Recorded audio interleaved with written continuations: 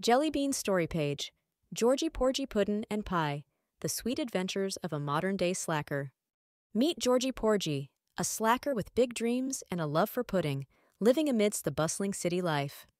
One ordinary day, Georgie discovers a curious shop, Pie's Magic Emporium, promising to make dreams come true. Inside, he meets Pie, a quirky fairy who offers him a lucky coin to fulfill his wishes of fame and riches. Georgie's adventures, fueled by the coin, only lead to humorous mishaps, teaching him that luck isn't always as magical as it seems.